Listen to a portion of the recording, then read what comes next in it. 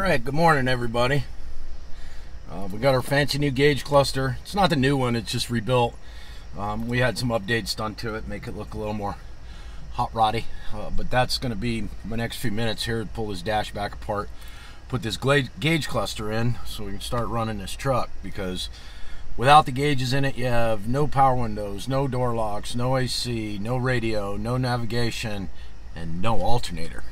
So we'll get this done. Uh, basically what I got to do is pop this bezel off the dash, which I've already had off a million times, um, unhook the uh, different electrical connectors, set this in. One plug goes here, one plug goes there. A couple little seven millimeter bolts hold it in and off we go. So give me a few minutes and we'll show you what it looks like without a dash bezel.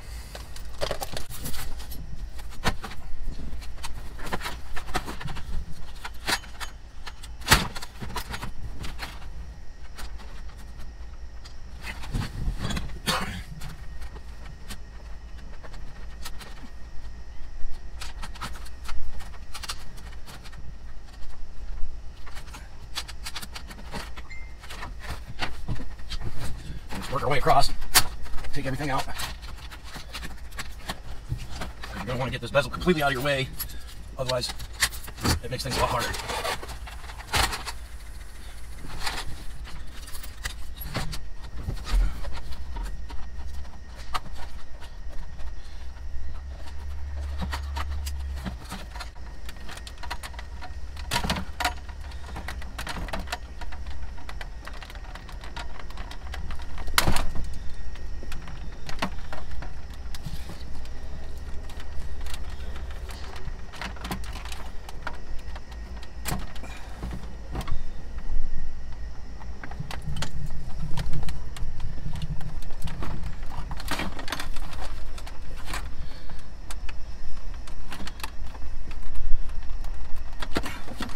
a little screwdriver sometimes can help you get these clips off, but I found a lot of times if you try and do that, you're probably a little harder than you should, and you end up breaking stuff. And even though it's an old truck, I tell you right now, nothing is inexpensive. Find something laying around here I can use.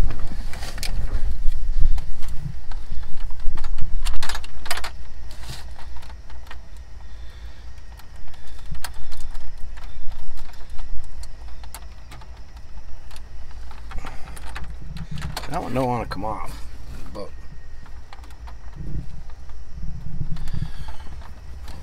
we'll get it.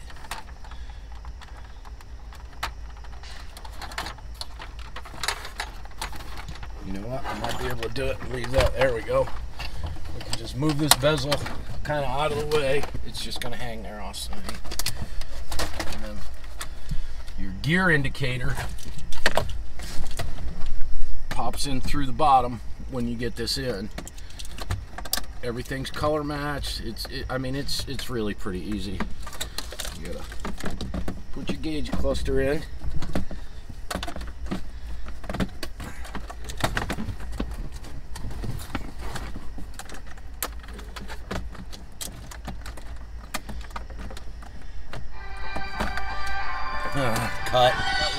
Customer on my 86 square body truck that we're taking my square body apart to use parts for.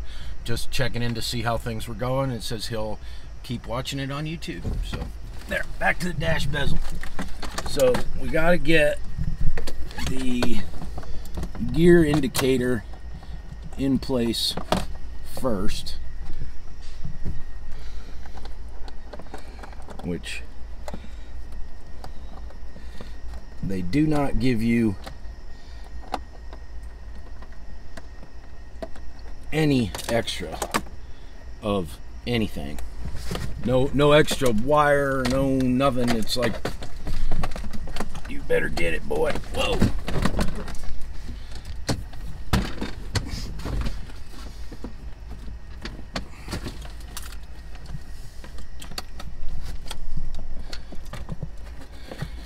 Stop. Let me.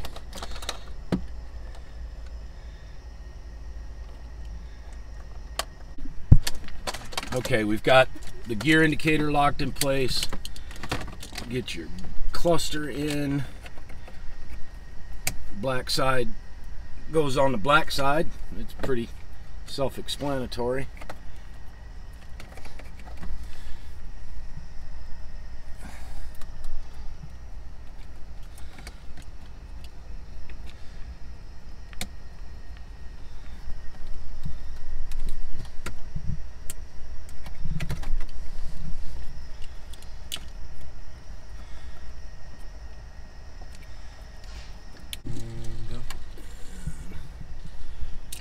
start with your clips down. And then there you go. See we already got stuff working now so. We uh, I gotta take it back out again. Hang on. I forgot the cluster pretty much has to go in place before you connect the wiring because they give you so little room to do anything go there. Put this one in.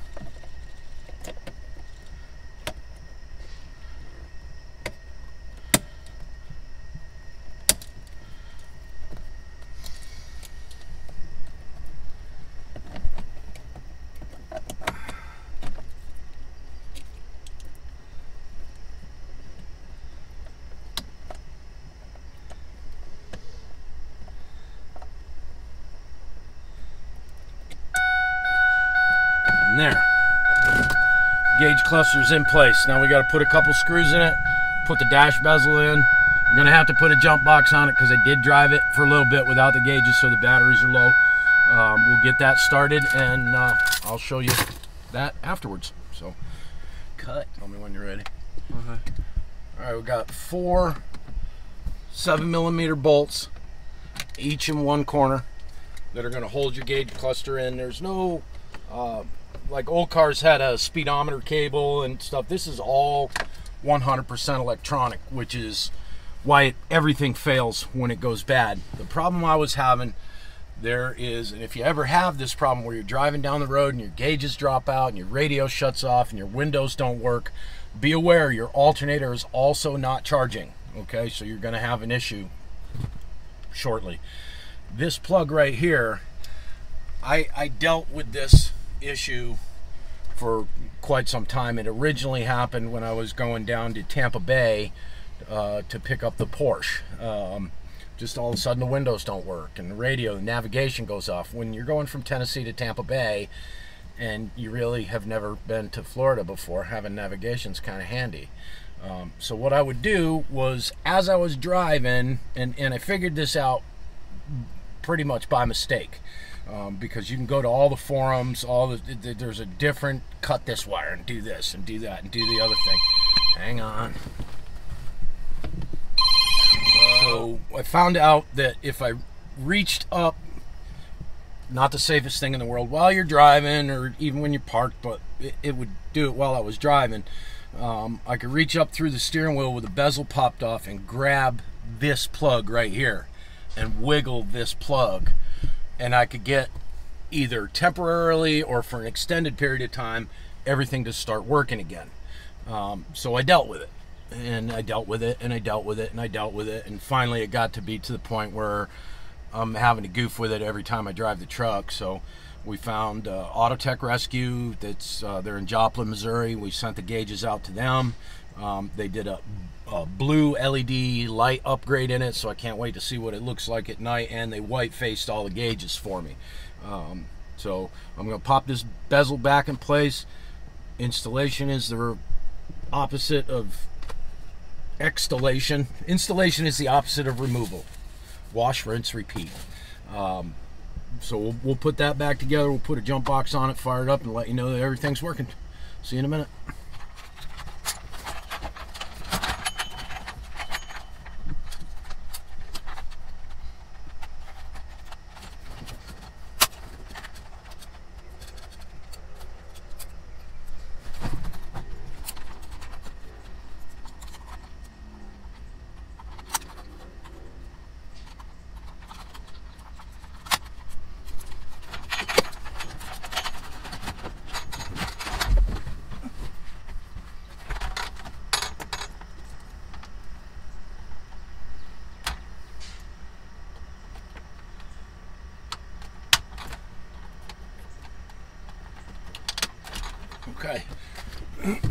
everything's plugged in.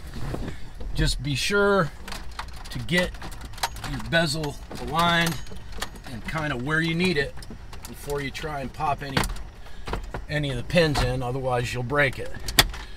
But you'll see with the key on my radio has already come on which it wasn't doing before.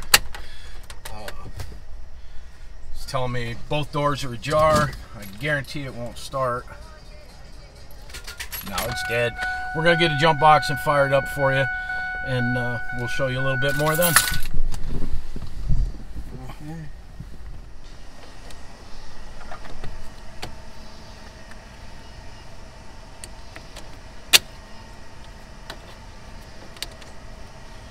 Okay, on a diesel you got two batteries. You want to hook the jump box to your lead battery because it's connected to both of them. This little jump box is supposed to be the best in the world. It's it's just like every jump box I've ever had. Sometimes it works, sometimes it doesn't.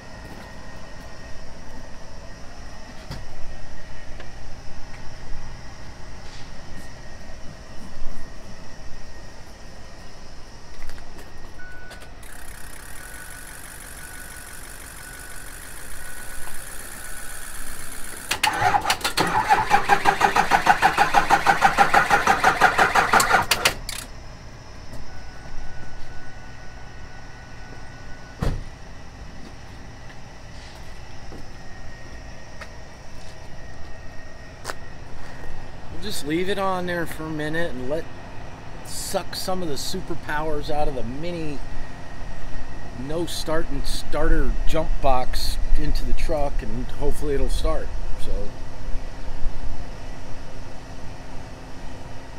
So how's your day going? It's monday. It's gonna be hot it's gonna be sweaty and muggy and nasty and mm-hmm. and humid and same thing. That's what sweaty, muggy, and nasty means. But Anything more adjectives? more adjectives. I have to put more adjectives in there. We're working on it, but okay. I'm gonna give it a try again. If it doesn't start, we're gonna we got a stalker.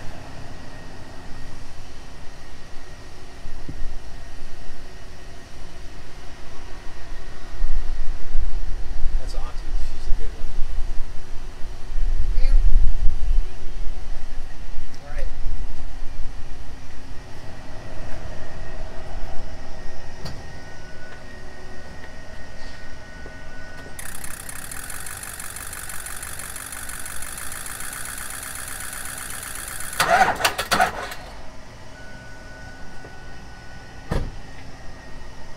Get the big red jump box.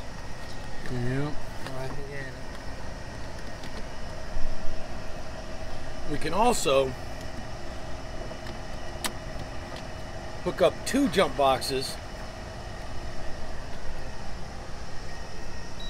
that only work when they want to. One to each battery. And it should pretty much light right up.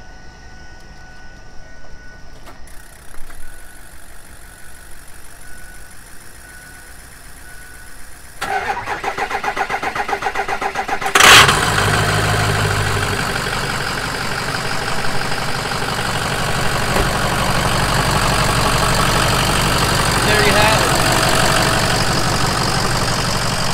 Gauge cluster's done, truck runs. We're gonna let it run for a while, charge the batteries up, uh, and sell it.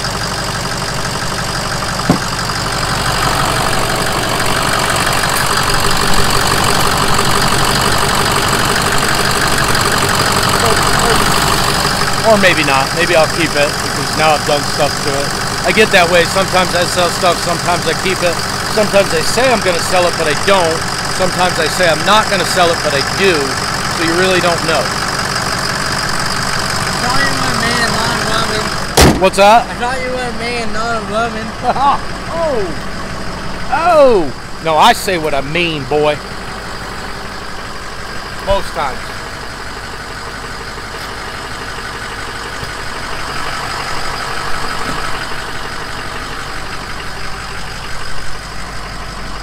Hey, come over now this way.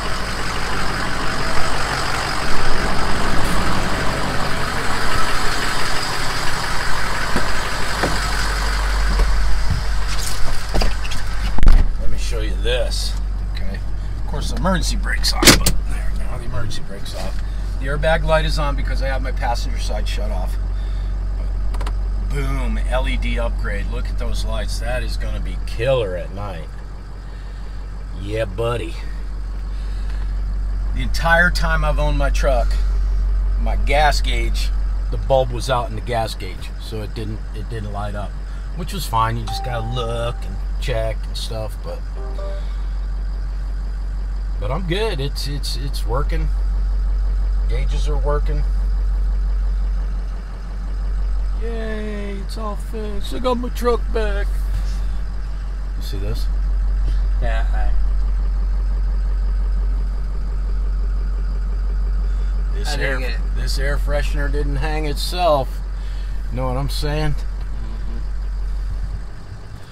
Redneck Rumble. I got this uh, last year, I think, for pre-entry. Uh, Tommy sent me one of them. Nice little bottle opener. Don't drink and drive. Why does the truck have four cup holders? See, even the air conditioning works now. Just not the fan. You Dumas. What have I done? Okay.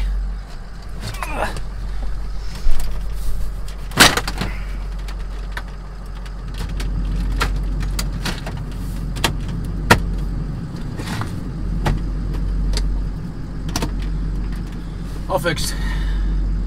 Old trucks rule. I think I'm gonna kind of dig the LEDs.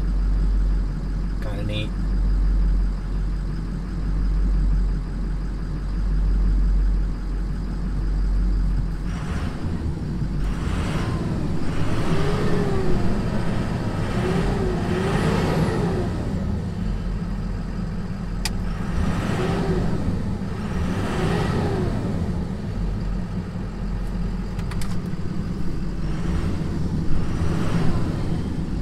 It's only got 3,492 miles since I put the motor in it, so that's not bad for.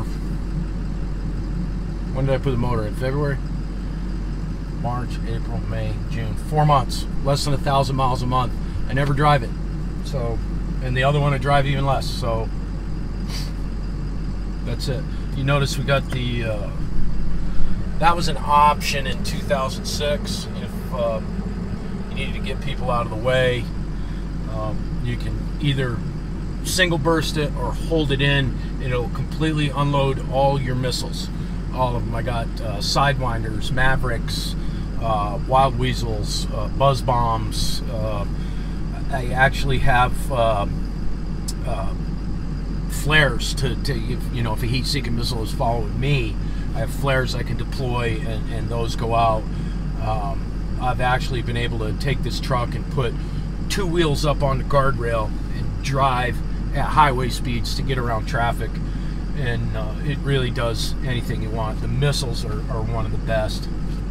This button right here, I don't even want to talk about it because if I were to press that button, Austin would be like a drone. So I'm not going to do that. That's an ejection seat. We don't we don't want to do that. All right, we're gonna go inside and actually do some work and stop with the comedy jokes. Let the truck run for a while, battery charge up. Okay.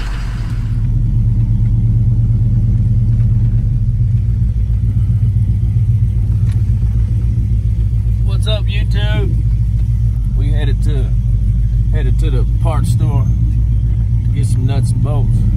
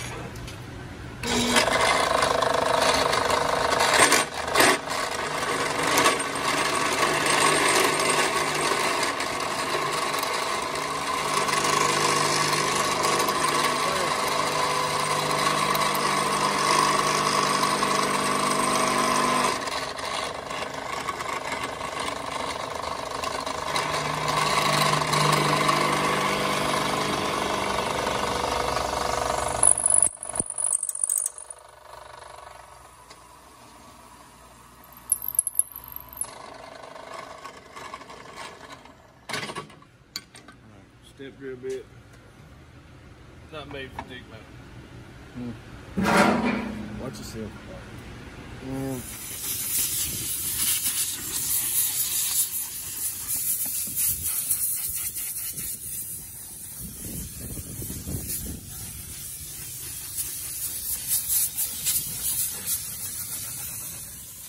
Hey everybody, we're gonna spend some time cleaning the wrecker up and uh, everything works again. So we'll get it cleaned up. It's a good old truck. I don't take care of it like I used to. I mean, mechanically I do, but as far as detail wise and so forth goes, I really haven't because I've just been too busy. Uh, so we'll get her all cleaned up.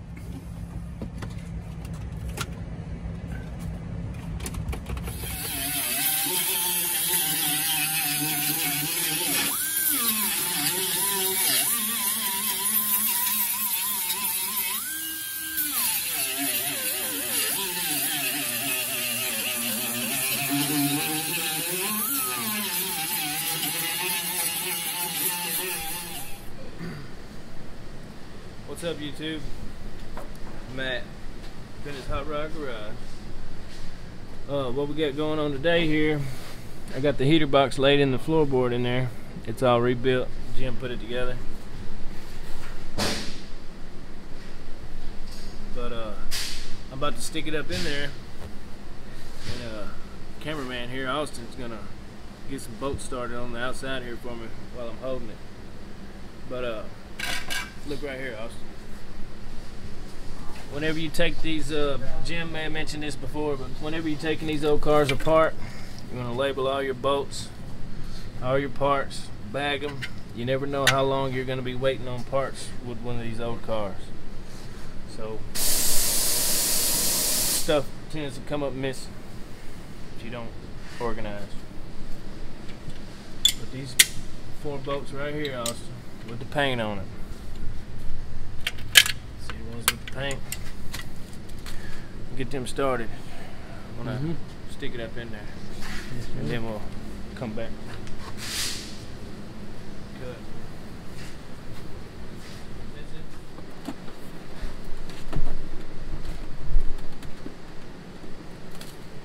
So here's all our bags. Dash.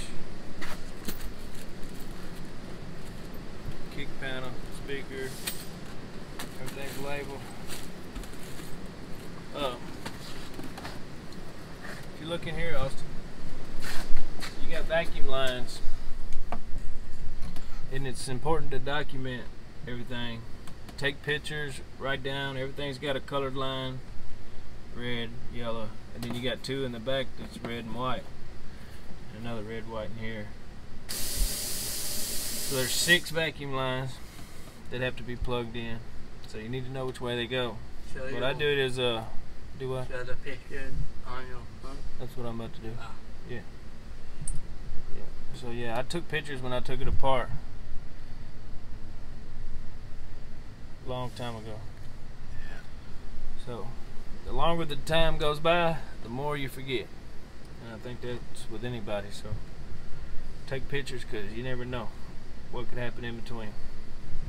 Now, if I took this apart and put it right back together, I wouldn't have to take no pictures. I'd remember how it goes. But the longer you wait, the more you forget. But yeah, we got the vacuum lines on. I got this uh, just uh, the bolts finger tight on there, and I'm gonna tighten that up here in just a second on on the other side of the firewall, on the engine side. And then uh, if you look over here, yeah, a little closer. Those are the plugs uh, for the back side of the fuse uh, box, and uh, that's where the wiring harness starts. And then I'll plug it in and I'll get it all routed, and then we'll be ready to put the dash in. But before we put the dash in, the customer, the customer, I forget his name, he brought us some some Dynamat. So we're gonna peel the carpet back, and uh, I believe he's already done the back section up to here. So we're gonna peel the front back and do Dynamat from front to back before we put the dash and the seats back But that's it. I'll get this wiring harness in here and uh, update you here in a few minutes. Okay.